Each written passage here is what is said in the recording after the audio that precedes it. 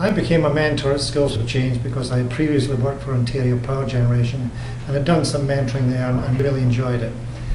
There are lots of benefits to both the, the mentor and the mentee.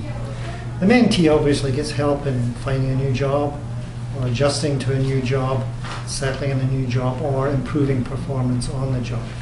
There are also benefits for the mentors like myself.